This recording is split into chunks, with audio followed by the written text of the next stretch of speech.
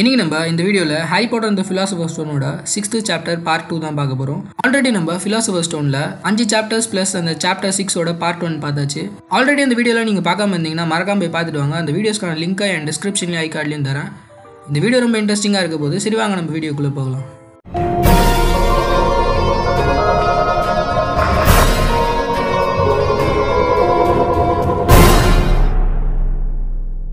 ஹாரியும் ராணும் வந்து பேச ஆரம்பிக்கிறாங்க. அப்போ பேசிட்டு இருக்கும்போது ஹாரி வந்து வீஸ்லி ஃபேமிலியை பற்றி கேட்குறாரு அதுக்கப்புறம் ஹாரி வந்து ராணை பார்த்து கேட்குறாரு உனக்கு ஆல்ரெடி நிறைய மேஜிக் தெரிஞ்சிருக்கும்ல? அப்படின்னு கேட்குறாரு அது போக அவர் வந்து இந்த டயக்னலில் மீட் பண்ண ஒரு பையனை பற்றியும் சொல்கிறாரு அந்த பையன் என்ன சொல்லியிருப்பான்னு பார்த்துட்டிங்கன்னா வீஸ்லி ஃபேமிலி வந்து one of the oldest wizarding family அப்படின்னு சொல்லியிருப்பான். அதெல்லாம் வந்து ஹாரி வந்து ரான் கிட்ட கேட்டுட்டு இருக்காரு அப்போ ரான் சொல்கிறாரு நானும் உன்னை பற்றி கேள்விப்பட்டிருக்கேன் ஹாரி. நீ வந்து மகள்ஸ் கூட தானே வாழ்ந்துட்டு இருந்த அங்கே அது எப்படி இருக்கும் ஹாரி? அப்படின்னு கேட்குறாரு அப்போ ஹாரி சொல்கிறாரு அதெல்லாம் ரொம்ப கொடுமையாக இருக்கும். எல்லாரும் அப்படி இல்லை. ஆனால் என்னோட ஆண்டன் அண்ட் அங்கிள் அதுக்கப்புறம் என் கசின்லாம் வந்து ரொம்ப மோசமானவங்க. எனக்கும் உன்ன மாதிரி மூணு விசார்டிங் பிரதர்ஸ் இருந்தால் நல்லா இருந்திருக்கும் அப்படின்னு சொல்றாரு. அப்போ ரான் சொல்றாரு மூணா எனக்கு அஞ்சு விசார்டிங் பிரதர்ஸ் இருக்காங்க அப்படின்னு சொல்றாரு. அப்போ ஹாரி வந்து அப்படியே முழிச்சு பாக்குறாரு. அப்போ ரான் சொல்றாரு எங்க ஃபேமிலியில மொத்தம் வந்து ஏழு பேர். நான் தான் வந்து ஆறாவது பையன். இப்போ ஆறாவதா நான் தான் ஹாக்வர்ட்ஸ் போறேன். இதுக்கு முன்னாடி பில்லும் சார்லியும் வந்து ஹாக்வர்ட்ஸ் விட்டு போயிட்டாங்க. பில் வந்து ஹாக்வர்ட்ஸ்ல ஹெட் பாயா இருந்திருக்கான். சார்லி வந்து குட்டிச் டீமோட கேப்டனா இருந்திருக்கான். இப்போ பர்சியும் வந்து ப்ரீஃபெக்டா மாறிட்டான். ரிட்டன் சார்ஜும் நிறைய விஷயம் வந்து விளையாட்டுத்தனமா பண்ணாலும் படிக்கிறதுல அவங்க ரெண்டு பேருமே நல்லா படிப்பாங்க நல்ல மார்க்ஸும் வாங்குவாங்க. எல்லாரும் என்ன நினைக்கிறாங்கன்னு பார்த்தோன்னா நானும் வந்து அவங்கள மாதிரியே இருக்கணும்னு நினைக்கிறாங்க. நான் ஏதாவது பண்ணா கூட அது ஒன்றும் பெரிய விஷயமா இருக்காது. ஏன்னா நான் முதல்ல பண்ணல. அவங்க எனக்கு முன்னாடியே பண்ணிட்டு போயிட்டாங்க. அதே மாதிரி எந்த விஷயமும் வந்து எனக்கு புதுசாக கிடைக்காது. என் பிரதர்ஸ் என்ன யூஸ் பண்ணாங்களோ அதுதான் எனக்கு கிடைக்கும். எனக்கு பார்த்துட்டேன்னா பில்லோட பழைய ஹாக்வர்ட்ஸ் ரோப்ஸ் அதுக்கப்புறம் சார்லியோட பழைய வாண்ட் அது போக பர்சியோட பழைய ரேட் இதெல்லாம் தான் வந்து எனக்கு ஹாக்வர்ட்ஸ்க்கு எடுத்துட்டு போகிறது கிடைச்சிருக்கு. அதுக்கப்புறம் ரான் வந்து அந்த ஓவர் கோட்ல இருந்து சாம்பல் கலர்ல ஒரு எலி எடுக்கிறாரு. அது வந்து படுத்து தூங்கிட்டு இருக்கு. அப்போ ரான் சொல்றாரு இது பேர் தான் வந்து ஸ்கிராபர்ஸ் ஆனால் இது எதுக்குமே உபயோகப்படாது. எப்போ பார்த்தாலும் தூங்கிட்டே இருக்கும். பர்சிக்கு வந்து புது அவுல் கிடச்சதுனால பர்சி வந்து எனக்கு இதை கொடுத்துனான் எங்கள் அம்மா அப்பா அவன் ப்ரீஃபெக்டாக மாறினதுனால அவனுக்கு அதை வாங்கி கொடுத்தாங்க. அவங்களால அதை அஃபோர்ட் பண்ண முடியாது. அதனால தான் எனக்கு ஸ்கிராபர்ஸ் கிடச்சிட்டான் அப்படின்னு சொல்கிறாரு அப்போ ராணோட காதெல்லாம் பார்த்துட்டிங்கன்னா பிங்க் கலரில் மாறிடுது. அதுக்கப்புறம் ஒரு விண்டோவே பார்க்க ஆரம்பிச்சிடறாரு. எல்லா விஷயத்தையும் வந்து ஹாரி கிட்ட சொல்லிட்டோமோன்னு நினச்சி ஒரு குற்ற உணர்ச்சியில் அப்படியே இருக்காரு. அப்போ ஹாரி சொல்கிறாரு இதெல்லாம் எந்த வகையிலும் தப்பு இல்லை ரான். எனக்கு கூட எதுவுமே வந்து கிடைக்கவே இல்லை. இவ்வளோ நாள் எனக்கு என்ன இருக்கு எனக்காக ஏதாவது இருக்கா? எனக்காக காசு இருக்கா? எதுவுமே தெரியாது. ஆனா ஒரு மாசம் முன்னாடி தான் வந்து எனக்கு காசு இருக்கிற விஷயமே தெரியும். டர்ஸ்லி வீட்டில் இருக்கும் போது எனக்குமே எதுவுமே பெருசா கிடைச்சது கிடையாது. டட்லியோட பழைய துணியை தான் நான் போட்டுப்பேன். அது போக எனக்கு பர்த்டே அப்போ கூட ப்ரெசன்ஸ் கொடுக்க யாருமே கிடையாது. எல்லா வருஷமும் எனக்கு அப்படியே தான் போயிட்டு இருக்கும் அப்படின்னு சொல்றாரு. இதை கேட்டு ரான் கொஞ்சம் ஆறுதல் அடைகிறாரு அதுக்கப்புறம் சடனாக ஹேக்ரிட் வந்து சொன்னதுக்கு அப்புறம் தான் எனக்கு விசார்டிங் வேர்ல்டை பத்தி தெரியும். அதுக்கப்புறம் என் பேரண்ட்ஸை பத்தி தெரியும். அதுக்கப்புறம் வால்டிமாட்டை பத்தியும் தெரியும் அப்படின்னு சொல்றாரு.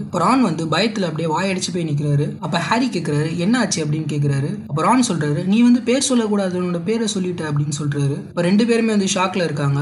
அப்போ ஹாரி சொல்றாரு ஒருத்தன் பேரை சொல்றதுனால நான் தைரியசாலின்லாம் சொல்ல விரும்பல. அதுக்குன்னு ஒருத்தன் பேரை கூட சொல்லக்கூடாதுன்னா அது எப்படி? எனக்கு தெரியும் அவன் பேரை யாருமே சொல்ல மாட்டாங்கன்னு. இருந்தாலும் பேர் சொல்றதுல என்ன பெருசாக ஆக போகுது? அது போக எனக்கு ஹாக்வர்ட்ஸ் வந்தனா நான் எந்த அளவுக்கு பெர்ஃபார்ம் பண்ணுவேன்லாம் எனக்கு தெரியல. எனக்கு தெரிஞ்சு நான் தான் கிளாஸ்லேயே ரொம்ப ஒஸ்ட்டாக இருப்பேன்னு நினைக்கிறேன் அப்படின்னு சொல்கிறாரு அப்போ ரான் சொல்கிறாரு இல்லை இல்லை நீ அப்படிலாம் இருக்க மாட்டேன் நிறைய பேர் வந்து மகள் ஃபேமிலியிலேருந்து வந்திருக்காங்க. ஆனால் எல்லாமே சீக்கிரமாகவே கற்று கற்றுப்பாங்க அதனால இதெல்லாம் ஒரு பெரிய பிரச்சனையாக இருக்காது ஹாரி அப்படின்னு சொல்கிறாரு அதுக்கப்புறம் அவங்க பேசிகிட்டு இருக்கும் போதே பார்த்துட்டிங்கன்னா அந்த ட்ரெயின் வந்து லண்டனை தாண்டி போயிடுது. இப்போ அந்த இடத்துல வீடெல்லாம் இல்லை சுற்றி வந்து வயலாக இருக்குது அதில் ஆடு மாடு அதெல்லாம் புல்ல மேய்ஞ்சிட்டு இருக்கு. அதெல்லாம் அவங்க பார்த்துட்டு அப்படியே போயிட்டு இருக்காங்க. அதுக்கப்புறம் வந்து டைம் வந்து டுவெல் ஓ கிளாக் ஆகுது. அதுக்கப்புறம் அந்த ட்ரெயினோட காரிடாரில் ஒரு வயசான லேடி வந்து ஒரு ட்ராலி தள்ளிட்டு சிரிச்ச முகத்தோட எல்லாருக்கிட்டையும் anything from the trolley dears அப்படின்னு கேட்டுட்டு வராங்க. அப்போ ஹாரிக்கு பயங்கர பசியாக இருக்குது ஹாரி வந்து காலையிலேருந்து எதுவுமே சாப்பிடல. அதனால ஹாரி வந்து முதல் அடி எடுத்து கொடுக்கணும்னு நினைக்கிறாரு. அப்ப ரானோட முகம்லாம் பார்த்துட்டீங்கன்னா ஒரு மாதிரி வெள்ளரி போயிடுது. ரான் சொல்றாரு ஆல்ரெடி வந்து சாண்ட்விச் கொண்டு வந்துட்டேன். நோ தேங்க்ஸ் அப்படின்னு சொல்றாரு.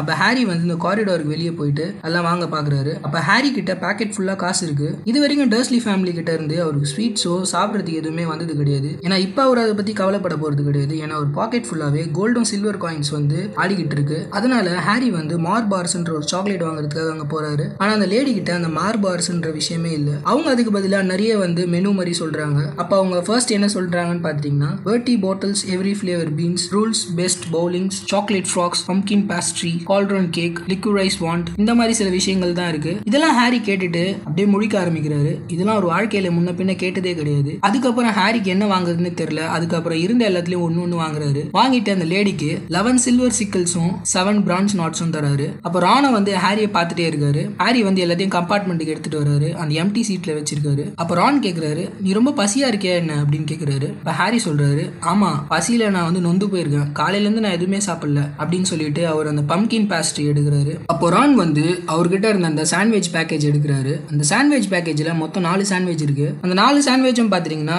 கார்ன்டு பீஃப்ன்ற ஒரு பீஃப் சாண்ட்விச்சா இருக்கு. அதை அவர் எடுக்கும் போது ஹாரி சொல்றாரு நீ வேணா இதை சாப்பிட நான் அதை சாப்பிட்றேன் அப்படின்னு சொல்றாரு. அப்போ ரான் வந்து இல்ல இல்ல ஹாரி இதெல்லாம் வந்து ட்ரை அப் ஆயிடுச்சு. லைட்டா கொஞ்சம் கெட்டு போயிருக்கு. எங்க அம்மா காலையிலே எஞ்சி செஞ்சதுனால இதெல்லாம் கெட்டு போயிருக்கும். ஏன்னா நாங்க அஞ்சு பேர் இருக்கோம்ல எங்க அஞ்சு அஞ்சு பேருக்கும் அவங்க வந்து ரெடி பண்ணணும். ஸோ அதனால இந்த மாதிரி ஆயிருக்கலாம் அப்படின்னு சொல்றாரு. அதுக்கப்புறம் ஹாரியும் ரானும் வந்து அந்த பேஸ்ட்ரீஸ்லாம் சாப்பிட்டுட்டு இருக்காங்க. ஹாரிக்கு இது வரைக்கும் எதுவுமே ஷேர் பண்ணிக்கிறதுக்கு ஒரு ஆள் கூட இருந்தது கிடையாது. அது போக அவருக்கு பெருசாக எதுவும் கிடைச்சதும் கிடையாது. இப்போ ரான் கூட அவர் ஷேர் பண்ணிக்கிறது ரொம்ப சந்தோஷமா இருக்கு. அது போக ஒரு கம்பெனினா ரான் கிடைச்சதுல ரொம்ப சந்தோஷப்படுறாரு. ஏன்னா ஷேர் பண்ணிக்கும் பேசுறதுக்கும் ஒரு ஆள் இருக்காங்கன்னு நினச்சி. ஏன்னா ஹாரி வந்து எப்பவுமே இந்த கபோர்ட்லேயே இருக்கிறதுனால ஷேர் பண்ணிக்கிறதுக்கும் பெருசாக ஆள் கிடையாது. டர்ஸ்லி வீட்டில் ஹாரிக்குன்னு பெருசாக எதுவும் அஃபோர்ட் பண்ண மாட்டாங்க. இப்படியே வந்து ஹாரியோட வாழ்க்கை போயிட்டு இருந்துச்சு. கடைசியா ஹாரிக்கு ஷேர் பண்ணிக்கிறதுக்கு ஒரு ஆளும் கிடைச்சாச்சு. அது போக சில சாப்பாடும் கிடைச்சிருக்கு. அதுக்கப்புறம் ஹாரியும் ராணும் வந்து ஒன்னு ஒன்னா சாப்பிட்டுட்டு இருக்காங்க. அப்ப ஹாரி வந்து ஒரு பேக்கேஜ் எடுக்கிறாரு. அதுல பாத்துட்டீங்கன்னா சாக்லேட் ஃப்ராக்ஸ் அப்படின்னு எழுதியிருக்கு. அப்ப ஹாரி கேக்குறாரு இதெல்லாம் வந்து உண்மையான ஃப்ராக்ஸா உண்மையா இருக்கா என்ன? அப்படின்னு கேக்குறாரு. இப்போ ரான் சொல்றாரு இல்ல இல்ல அது உண்மையான ஃப்ராக்ஸ் இல்ல. ஆனா அது பின்னாடி வந்து நிறைய விச் அண்ட் விசார்ட்ஸ்லாம் இருப்பாங்க. அவங்களாம் ரொம்ப ஃபேமஸானவங்க அவங்கள கலெக்ட் பண்றதுக்காக தான் நிறைய பேர் இந்த சாக்லேட் ஃப்ராக்ஸே வாங்குவாங்க. அப்படின்னு சொல்றாரு. அப்ப ஹாரி வந்து அதை பார்த்துட்டு அப்படியே ஸ்டன் ஆகி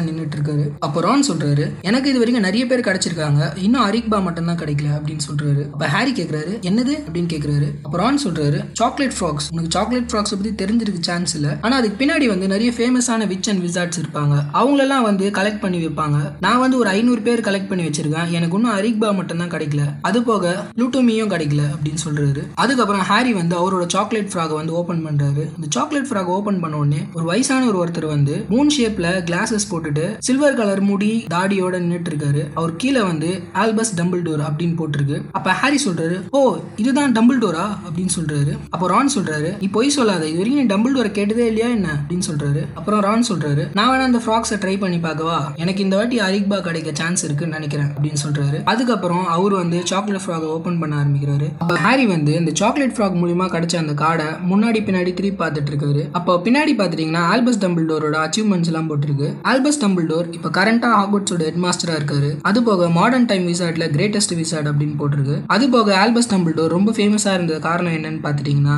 டார்க் விசார்டான கேலட் கிரிண்டர் வால்ட்டை வந்து நைன்டீன் ஃபார்ட்டி ஃபைவ்ல வீழ்த்திருக்காரு. அது போக டுவெல் யூசர்ஸ் ஆஃப் டிராகன் பிளட் வேற கண்டுபிடிச்சிருக்காரு. அது போக நிக்கோலஸ் ஃபிளமல் கூட சேர்ந்து அந்த அல்கெமிஸ்ட்ரி ஒர்க் பண்ணதுல அவருக்கு நிறையவே பேர் கிடைச்சிருக்கு. டம்பிள்டோர் ரொம்ப விரும்பி கேட்கறது சேம்பர் மியூசிக்கும் அது போக டின் பின் பால்ஸ்லாம் அவர் ரொம்ப விரும்பி என்ஜாய் பண்ற விஷயமா இருக்கு அப்படின்னு போட்டிருக்கு. அதுக்கப்புறம் ஹாரி வந்து அந்த காடை திருப்பி பார்க்குறாரு. அந்த கார்டை திருப்பி பார்த்த உடனே ஹாரி வந்து ரொம்ப ஆச்சரியமாயிடுறாரு. அங்க இருந்த டம்பிள்டோரோட முகம் வந்து மறைஞ்சு போயிருக்கு. அப்ப ஹாரி வந்து ரான் கிட்ட சொல்றாரு ரான் டம்பிள்டோர் போயிட்டாரு அப்படின்னு சொல்றாரு. அப்போ ரான் சொல்றாரு அவரை நீ ஃபுல் டே இங்கேயே இருப்பாருன்னு எதிர்பார்க்க முடியாது ஹாரி. அவர் கொஞ்ச நேரத்துல வருவாருன்னு நினைக்கிறேன். எனக்கு கூட மோர்கானா கிடைச்சாங்க. அதுக்கப்புறம் அவங்க திருப்பி வந்தாங்க. எனக்கு அவங்களோட ஆறு கார்ட்ஸ் இருக்கு. உனக்கு அதுல ஏதாவது வேணுமா? நீ இப்போதுல இருந்தே உன் கலெக்ஷனை ஸ்டார்ட் பண்ணலாம் அப்படின்னு சொல்றாரு. அதுக்கப்புறம் ரான் வந்து ஒரு ஒரு சாக்லேட் ஃப்ராகா பார்த்துட்டு அதை அன்ராப் பண்ணிட்டு இருக்காரு. அப்போ ஹாரி சொல்றாரு நீ அதெல்லாம் பிரிச்சுக்கோ ரான். மகள்வல்ல பாத்துட்டேன்னா போட்டோல பீப்புள் வெறும் அப்படியே தான் இருப்பாங்க. ஆனால் இதில் வந்து அசைகிறாங்களே அப்படின்னு சொல்கிறாரு அப்புறம் ரான் கேட்குறாரு அவங்களாம் நகர மாட்டாங்களா என்ன? கேட்கவே ரொம்ப வினோதமாக இருக்கு அப்படின்னு சொல்கிறாரு அதுக்கப்புறம் ஹாரியோட சர்ப்ரைஸ்க்கு டம்பிள்டோர் வந்து திருப்பி அந்த காட்டில் வராரு. அந்த காட்டில் வந்துட்டு ஹாரியை பார்த்து லைட்டாக சிரிக்கிறாரு.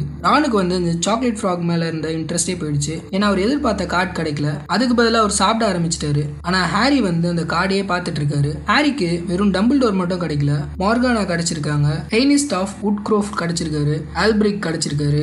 சிரீஸ் கிடைச்சிருக்காரு பார்சிலஸ் கிடைச்சிருக்காரு மர்லின் கிடைச்சிருக்காரு. இந்த மாதிரி நிறைய பேர் வந்து ஹாரி கிடைச்சிருக்காங்க. அதுக்கப்புறம் ஹாரி வந்து பாட்டி பாட்டில்ஸ் எவ்ரி ஃபிளேவர் பீனை வந்து ஓபன் பண்றாரு. அப்போ ரான் சொல்றாரு ஹாரி நீ இதுல கொஞ்சம் கேர்ஃபுல்லா இருக்கணும். எவ்ரி ஃபிளேவர் பீன்னா எல்லா ஃபிளேவரும் அதுல இருக்கும். அதனால நீ இதுல பார்த்து சாப்பிடணும். ஜென்ரலா இதுல என்னென்ன இருக்கும்னு பாத்துட்டேன்னா சாக்லேட் இருக்கும் பெப்பர்மெண்ட் இருக்கும் மேர்மலேட் இருக்கும். அது போக சில நேரத்துல ஸ்பினாச்சும் கிடைக்கும். லிவர் கூட இருக்கும். எனக்கு ஒரு தடவை ஜார்ஜ் சொல்லியிருக்கான் அதுல வந்து பூகி ஃபிளேவர் இருக்கும் அப்படின்னு சொல்லியிருக்கான். அதுக்கப்புறம் ரான் வந்து ரொம்ப உஷாரா அந்த ஒரு ஒரு பீனா எடுத்து பிக் பண்ணிட்டு இருக்காரு இப்போ கடைசி அவர் வந்து கிரீன் கலர் பீன் ஒன்று எடுக்கிறாரு. அதோட கார்னரில் கடிக்கிறாரு. கடிச்ச உடனே ஆ ஸ்ப்ரவுட்ஸ் அப்படின்னு சொல்றாரு. அதுக்கப்புறம் ரெண்டு பேரும் எல்லா ஃப்ளேவர் பீன்ஸும் சாப்பிட்டுட்டு இருக்காங்க. ஹாரி வந்து நிறைய ஃப்ளேவர்ஸ் சாப்பிட்டுருக்காரு. கோகோனட் பேக்டு பீன்ஸ் ஸ்ட்ராபெரி அதுக்கப்புறம் கிராஸ் கறி காஃபி அந்த மாதிரி நிறைய ஃப்ளேவர்ஸ் வந்து சாப்பிட்டுட்டு இருக்காரு. அதுக்கப்புறம் ரான் வந்து ஒரே ஒரு பீனை மட்டும் தவிர்த்து இருப்பாரு. அதை வந்து ஹாரி ட்ரை பண்ணி பார்க்கலாம்னு நினச்சிருப்பாரு. அந்த பீன் என்னவா இருக்கும்னு பார்த்துட்டிங்கன்னா பெப்பராக இருக்கும். அதுக்கப்புறம் அப்படியே அந்த கண்ட்ரி சைட்லேருந்து அந்த ட்ரெயின் வந்து மூவ் ஆரம்பிச்சிடும் இப்போ அந்த இடமே பார்த்துட்டிங்கன்னா காடும் நிறைய ஆறும் இருக்கிற மாதிரி இருக்கும். இந்த இடமே வந்து ஒரு மயான அமைதியோட இருக்கும். ஹாரியர் ஆனும் கம்பார்ட்மெண்ட்லேருந்து பார்த்துட்டு இருப்பாங்க.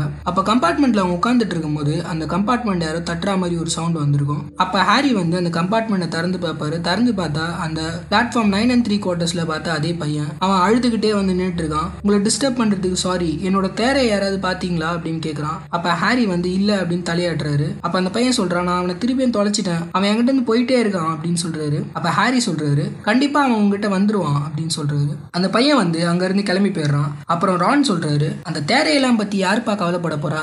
என்கிட்ட தேரை இருந்துச்சுன்னா அது தொலைஞ்சு போனாலும் நான் கவலைப்பட மாட்டேன். அதனால தான் வந்து நான் ஸ்கிராபர்ஸை கொண்டு வந்திருக்கேன். ஸ்கிராபர்ஸ் இருக்கிறதுனால அதை பத்தி நான் பேசக்கூடாது அப்படின்னு சொல்லிட்டு ஸ்கிராபர்ஸை பாக்குறாரு. ஸ்கிராபர்ஸ் வந்து ரானோட தொடையில் நல்லா படுத்து தூங்கிட்டு இருக்கு. ரான் சொல்றாரு இது செத்து போனாலும் சரி படுத்திருந்தாலும் சரி டிஃபரன்ஸே கண்டுபிடிக்க முடியாது. ஒரே மாதிரி தான் இருக்கும். நேத்து கூட நான் இதை எல்லோ கலர்ல மாற்றணும்னு ட்ரை பண்ணேன். ஆனா அது ஒர்க் ஆகுமா என்னன்னு தெரியல. அந்த ஸ்பெல்லை வந்து நான் உனக்கு காட்டுறேன் வா அப்படின்னு சொல்றாரு. அதுக்கப்புறம் ரான் வந்து அவர் ட்ரங்க்ல இருந்து அந்த வாண்ட் எடுக்கிறாரு. வாண்ட் எடுத்துட்டு அதை வந்து கரெக்டா பிளேஸ் பண்றதுக்கு வந்து இது பண்ணிட்டு இருக்காரு. அந்த வாண்ட்ல பாத்துட்டீங்கன்னா யூனிகான் ஹேர் வந்து வெட்ட வெளிச்சமா தெரியுது. ஏன்னா அந்த வாண்ட் வந்து அவ்வளவு பழசா இருக்கு. ரான் வந்து அந்த ஸ்பில்லை காசு பண்ணுறதுக்கு முன்னாடி திருப்பி அவங்க கம்பார்ட்மெண்ட் டோரை யாரோ தட்டுற மாதிரி கேக்குது. இப்போ அந்த பையனும் அவங்க கூட ஒரு பொண்ணு வந்திருக்கா. அந்த பொண்ணு வந்து ஹாகோட்ஸ் ரோப்பை ஆல்ரெடி போட்டுட்டு இருக்கா. அந்த பொண்ணு வந்து ஹாரியும் ராணியும் பார்த்து கேட்குறா யாராவது நெவிலோட அந்த டோடை பார்த்தீங்களா அதாவது தேரையை பார்த்தீங்களா அப்படின்னு கேட்குறா அந்த பொண்ணோட வாய்ஸே வந்து ரொம்ப ஒரு அதிகார துணியில் இருக்கு. அந்த பொண்ணோட அப்பியரன்ஸ் எப்படி இருக்குன்னு பார்த்துட்டிங்கன்னா நல்ல புதர் மாதிரி முடியும். ரெண்டு பெரிய பல்லும் இருக்கு.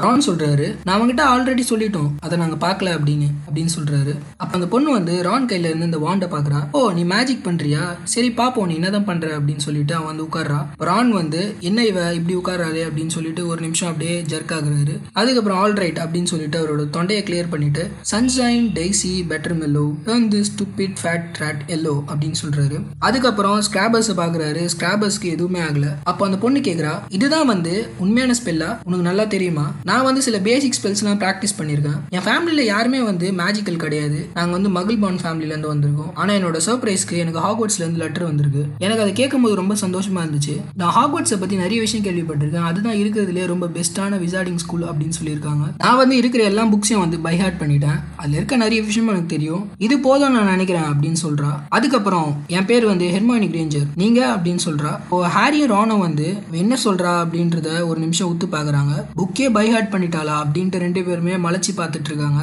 அப்போ ரான் சொல்றது என் பேர் வந்து ரான் ரான் வீஸ்லி அப்படின்னு சொல்றாரு. அப்போ ஹாரி சொல்றாரு என் பேர் ஹாரி பாட்டர் அப்படின்னு சொல்றாரு. அப்போ ஹெர்மானி சொல்றா நீ தான் ஹாரி பாட்டரா ஓ உன்னை பத்தி நான் நிறைய விஷயம் படிச்சிருக்கேன். Modern magical ஹிஸ்டரியில the rise and fall of dark ஆர்ட்ஸ்ல அதுக்கப்புறம் the great events of twentieth செஞ்சுரியில இதெல்லாம் உன்னை பத்தி நான் படிச்சிருக்கேன் அப்படின்னு சொல்றா. அப்ப ஹாரி சொல்றாரு இதெல்லாம் நான் இருக்கனா என்ன? அப்படின்னு சொல்லிட்டு அவரே ஒரு நிமிஷம் முழிச்சிட்டு இருக்காரு. ஓ உனக்கு அதெல்லாம் பத்தி தெரியாதா? உன் இடத்துல நான் இருந்தேன்னா இது எல்லாமே நானே கண்டுபிடிச்சிருப்பேன். ஆமா ஹாக்வர்ட்ஸில் பண்ண உடனே நீங்கள் எந்த ஹவுஸில் இருக்கணும்னு நினைக்கிறீங்க? என்ன பொறுத்த வரைக்கும் நான் கிரிஃபன்டோர்ல இருக்கணும்னு தான் நினைக்கிறேன். ஏன்னா டம்பிள் டோரா வந்து அதில் தான் இருந்திருக்காரு. ரேவன் கிளாவும் வந்து ரொம்ப மோசமான ஹவுஸ் கிடையாது. எனக்கு இது ரெண்டுத்துல எது கிடைச்சாலும் ஓகே பைதவே நெவிலோட தேரையை பார்த்தீங்கன்னா நீங்கள் எங்களுக்கு சொல்லுங்க. அது போக ஹாக்வர்ட் சீக்கிரமே வரப்போகுது. சீக்கிரம் உங்கள் ட்ரெஸ்ஸை வந்து சேஞ்ச் பண்ணிக்கோங்க அப்படின்னு சொல்கிறா அதுக்கப்புறம் நெவிலும் ஹெர்மாயினியும் அங்கேருந்து கிளம்பி போயிடுறாங்க.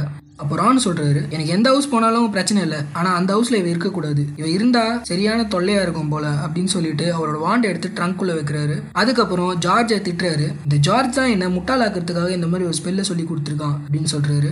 அப்ப ஹாரி கேக்குறாரு உன்னோட அண்ணனுங்களாம் எந்த ஹவுஸ்ல இருக்காங்க? அப்படின்னு கேக்குறாரு. அப்போ ரான் சொல்றாரு கிரிஃபன்டோர் எங்க அப்பா அம்மா கூட கிரிஃபன்டோரில் தான் இருந்தாங்க. என் ஃபேமிலியில எல்லாருமே கிரிஃபன்டோரில் தான் இருந்தாங்க. ரேவன் கிளா கூட மோசமான ஹவுஸ் இல்ல. ஆனா நினைச்சு பாரு என்ன போய் ஸ்லிதரன்ல போட்டாங்கன்னா என்ன ஆகுறது? அப்ப ஹாரி சொல்றாரு வால் அதாவது அந்த பேர் சொல்லக்கூடாதவங்க கூட அங்கதானே இருந்தான் அப்படின்னு கேட்குறாரு அப்போ ரான் சொல்றாரு ஆமா ஆனால் அந்த ஹவுஸுக்கு நான் போக விருப்பப்படல அப்படின்னு சொல்லிட்டு அவர் கொஞ்சம் டிப்ரெஸ்ஸாக இருக்காரு. இப்போ ஹாரி வந்து ரானோட கவனத்தை வேற இடத்துல திசை திருப்பதுக்காக கிராபஸோட மீசை வந்து ரொம்ப லைட்டாக இருக்கு பாரு அப்படின்னு சொல்றாரு. அதுக்கப்புறம் ஹாரி வந்து இன்னொரு கொஸ்டினை கேட்குறாரு உன்னோட ரெண்டு பெரிய அண்ணனுங்களும் என்ன பண்ணிட்டு இருக்காங்க? பைதவே அவங்க ஹாகவுட்ஸ் விட்டு போயிட்டாங்க இப்போ என்ன பண்ணிட்டு இருக்காங்க? அப்படின்னு கேட்குறாரு அப்போ ரான் சொல்கிறாரு சார்லி வந்து ரொமேனியால டிராகன்ஸை பற்றி ரிசர்ச் பண்ணிட்டு இருக்கான். பில் வந்து ஆப்பிரிக்காவில் கிரின் கார்ட்ஸ்க்காக ஏதோ வேலை செஞ்சுட்டு இருக்கான். நீ கிரின்கார்ட்ஸை பற்றி கேள்விப்பட்டியா? அந்த டெய்லி ப்ராஃபிட்டில் வந்த நியூஸை ஓ உனக்கு அந்த மகள் வரல அதெல்லாம் பற்றி தெரியறதுக்கு சான்ஸ் இல்லை. கிரின்கார்ட்ஸோட ஹை செக்யூரிட்டி வால்ட்டை யாரோ திருட பார்த்துருக்காங்க.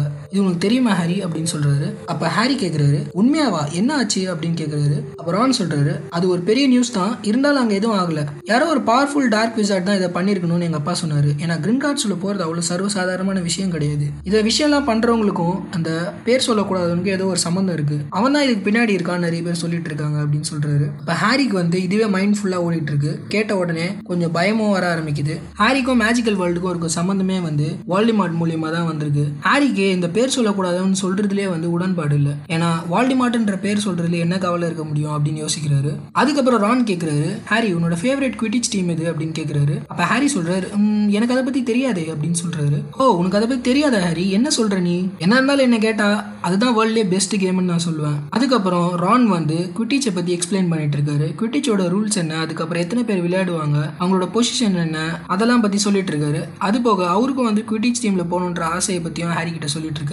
அதுக்கப்புறம் கம்பார்ட்மெண்ட்டை யாரோ திருப்பியும் தட்டுற மாதிரி ஒரு சவுண்ட் கேட்குது இப்போ ஹாரி வந்து அந்த கம்பார்ட்மெண்ட் திறந்து பார்க்குறாரு. அந்த கம்பார்ட்மெண்ட்ல பார்த்துட்டிங்கன்னா நெவிலும் இல்லை ஹெர்மாயினியும் இல்லை. இந்த டைம் பார்த்துட்டிங்கன்னா மூணு பசங்க வந்து நிற்கிறாங்க ஹாரி வந்து நடுவில் இருந்த பையனை மட்டும் ரெகக்னைஸ் பண்ணுறாரு நடுவில் இருந்த பையனை தான் மேடம் மேல்கின்ஸ் ஷாப்பில் வந்து பார்த்தாரு. அப்போ அந்த பையன் வந்து ஹாரி கிட்ட பேசுறதுல ரொம்ப விருப்பம் காட்டுற மாதிரி இருக்கு. ஏன்னா ஆல்ரெடி வந்து டயக்னலில் ஹாரியை மீட் பண்ணியிருக்கான். அப்போ அந்த பையன் கேட்குறான் அப்போ இந்த ட்ரெயினில் வந்த ரூமர்ஸ்லாம் உண்மைதான் போலது ஹாரி பாட்டர் கடைசியாக ஹாக்வர்ட்ஸில் வந்திருக்கான் அப்படின்னு சொன்னாங்க. எல்லா கம்பார்ட்மெண்ட்லையும் தேடி பார்த்தேன். கடைசியில் நீ இங்கே தான் இருக்க அப்படின்னு சொல்கிறான் அதுக்கப்புறம் ஹாரி சொல்கிறாரு ஆமாம் அப்படின்னு சொல்கிறாரு அதுக்கப்புறம் ஹாரி வந்து அந்த பையன் கூட இருக்க ரெண்டு பசங்களையும் பார்க்குறாரு.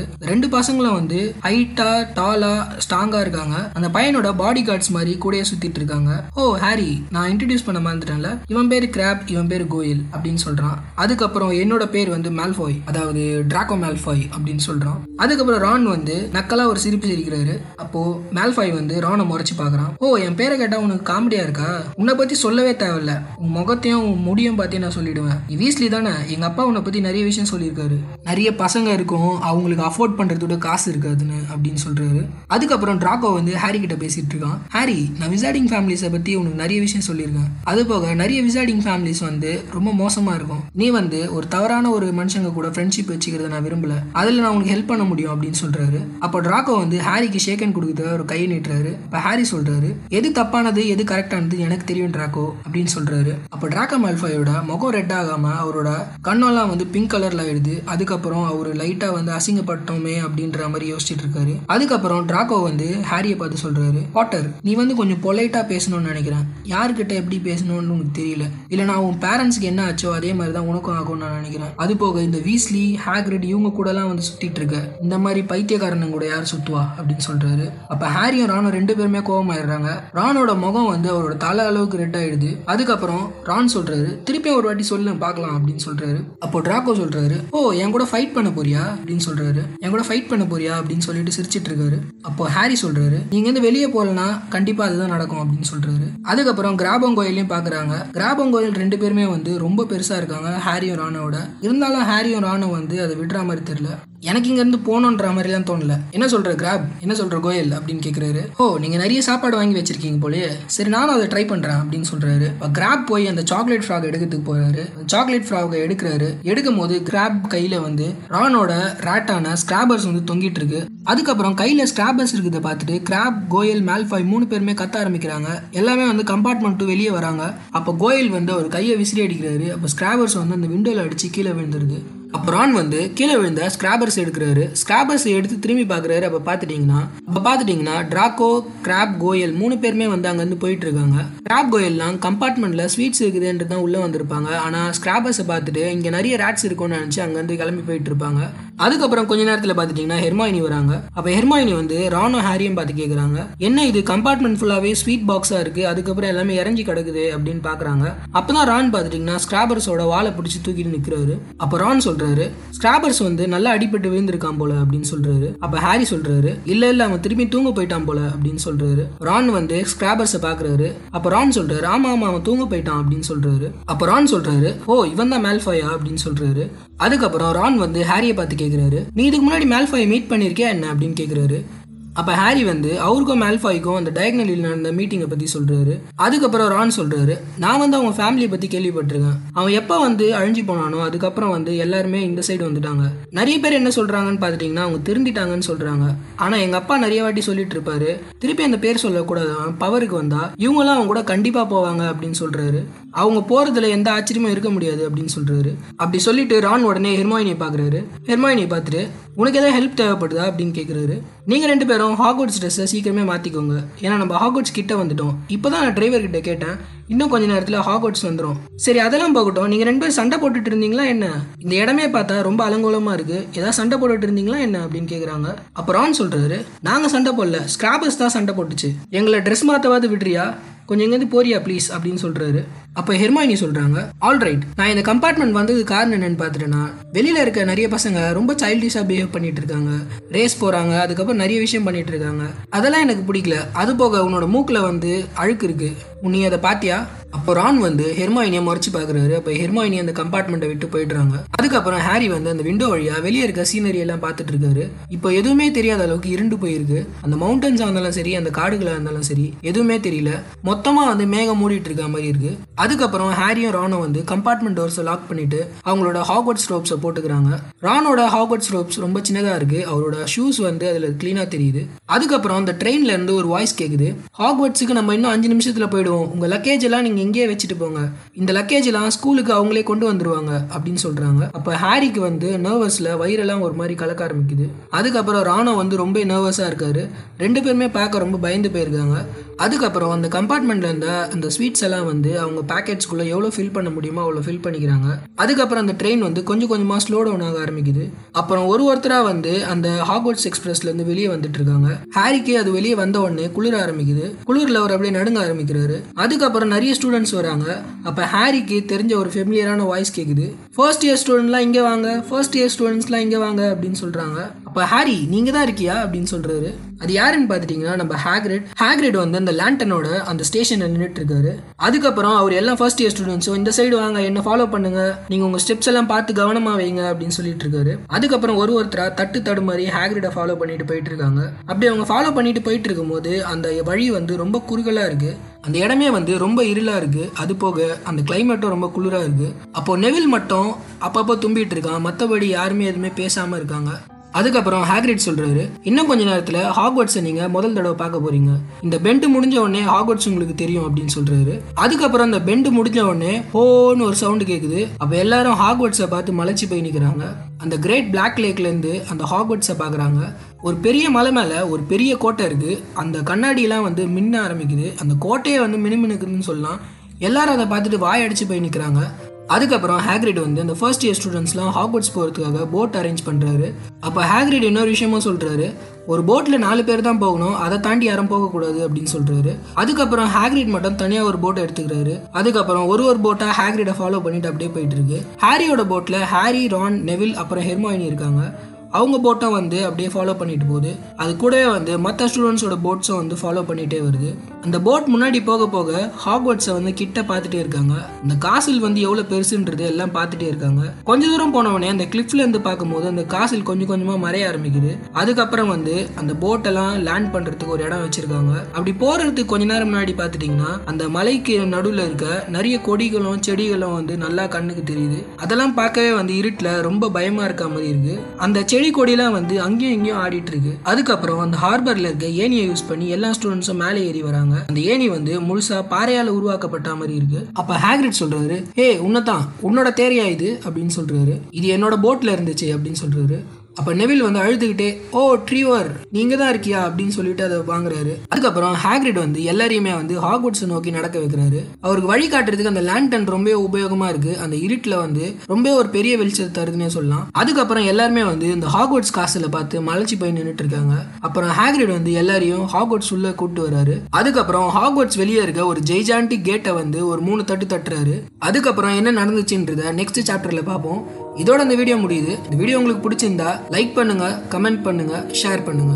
இப்போதான் இந்த சேனலுக்கு முதல் வாட்டி வரீங்கன்னா சப்ஸ்கிரைப் பண்ணுங்க. கூட மறக்காம அந்த பெல் பட்டனை கிளிக் பண்ணுங்க. அப்போதான் நாங்கள் போடுற வீடியோ உடனுக்குடன் நோட்டிஃபிகேஷனாக வரும்.